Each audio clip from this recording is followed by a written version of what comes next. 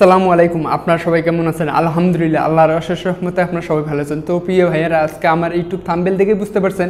হ্যাঁ এই যে পরকিয়া, এই যে ভাই, একটার পর একটা পরকিয়া, এই যে কুলাঙ্গারগুলা, আজকে আমি শুধু পুরুষকে ধুলাই করব না, এবং মেয়েটাকেও করব, এবং মেয়ে জাতিকেও বলতেছি। এই যে আপু, ভাই, বোন, মা, বোনেরা, আপনারা কি কবে ভালো হবেন? এই যে ভাই, ব্রাদাররা বাবারা, আপনারা কবে ভালো হবেন? এই যে আপনাদের জন্য দেশ আগায় যায় না, আপনাদের জন্য এই যে বিপদ নেমে এসে কিছুদিন পর পর, এই যে দেখেন, এই যে স্বামী, স্ত্রী, এরা দুইজনেই অন্যর স্ত্রী, স্বামী, ঠিক আছে? এই যে পরকিয়া করে ধরা পড়ছে খাডের মধ্যে, তার প্রমাণ সহ দেখাবো, ঠিক আছে? আমার স্কিনে তো, তার আগে আমি কয়েকটা কথাবার্তা বলে নেই। প্রিয় ভাইয়েরা, আপনারা ধৈর্য সহকারে শুনবেন।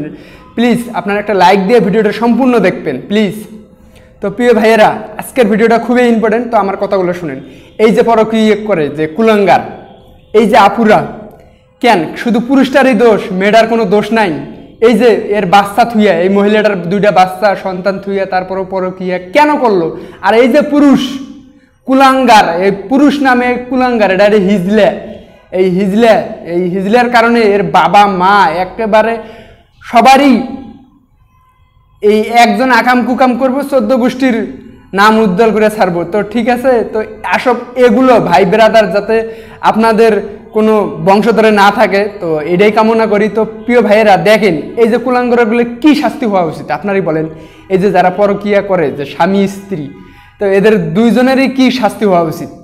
দেখেন, হাতে নাতে ধরা পড়ছে, খাটের মধ্যে, আকাম কুকাম করছে গ্রামবাসী ধরে ধরছে। এখন ধরে দেখেন, রাখছে কেমনে? এরা জড়াই ধরে আছে, এটা আমি দেখাইবো আপনাদের কেসে তার আগে কথাবার্তা বলে নেই। তো প্রিয় ভাইয়েরা, দেখেন, আপনারা একটু খেয়াল করে দেখেন, এদের কি কি শাস্তি হওয়া উচিত? দেখেন, একটা যদি শাস্তি হইতো, এই বাংলাদেশে, বাংলার জমিনে যদি একটা শাস্তি হইতো, এই যে মসজিদের সামনে, ইসলাম কি বলে? ইসলাম কি বলে? পরকিয়া করলে ওকে যে মানে যে কোনো মসজিদের সামনে নামাজের শেষে ওকে পাথর নিক্ষেপ করে মারা দরকার। এটা সরাসরি সময় টিভি এবং যৌবনা মানে সবগুলা টিভির মধ্যে নিউজ করা দরকার।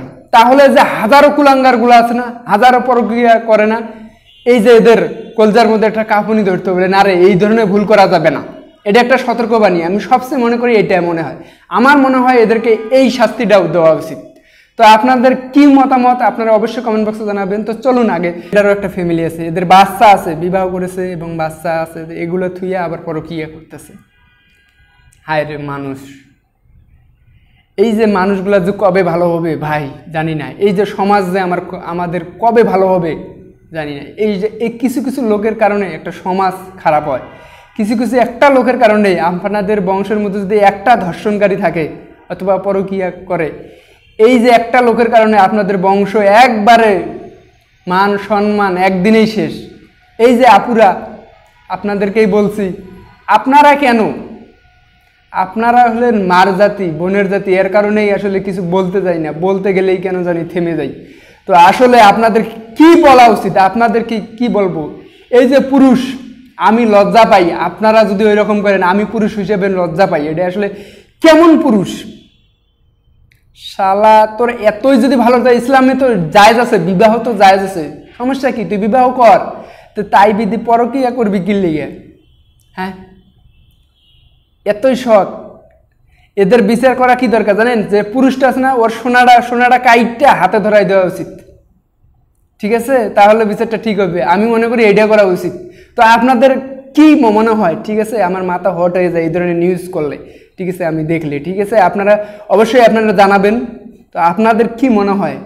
আপনারা কি বিচার চান এই ধর্ষণকারীর? দুইজনকারীর? শুধু একজনকার না, পুরুষ না। দুইজনেই। ঠিক আছে? তো প্রিয় ভাইয়েরা, আপনারা যে যেখানে আছেন ভালো থাকবেন আর ইনশাল্লাহ পরবর্তী ভিডিওতে দেখা হবে। আর হ্যাঁ ভুলে যাবেন না, আমাকে যদি ভালোবাসেন, আমাকে যদি সাপোর্ট করেন, তো অবশ্যই সাবস্ক্রাইব করে পাশে থাকা নোটিফিকেশন অন করে দিবেন। তো অবশ্যই একটা লাইক দিয়ে চলে যান আল্লাহ হাফিজ। নামাজ বাদ দিও না বন্ধু, নামাজ হলো বেহেস্তের চাবি।